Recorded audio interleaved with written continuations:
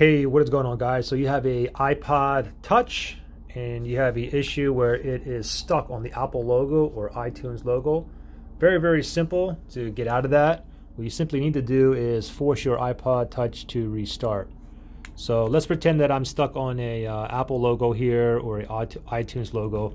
So what you need to do here is a press and hold two key combination. Now the thing is, if you have the iPod Touch sixth generation or under, what you need to do is press and hold the power button and the home button. Press and hold the same time. Continue to hold until the Apple logo appears. Then you can let go and you'll be back up in business. Now, if you have a iPod Touch 7th generation, which is the latest generation right now, it's a different two key combination.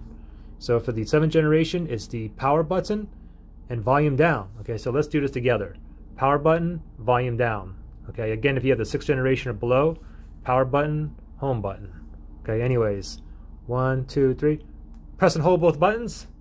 Don't worry about what's happening to the screen. I'm still holding on, waiting for that Apple logo to appear. Usually it appears after like 10, 15 seconds. Let's see if it appears. If it doesn't, I'll do it again. Okay, it does.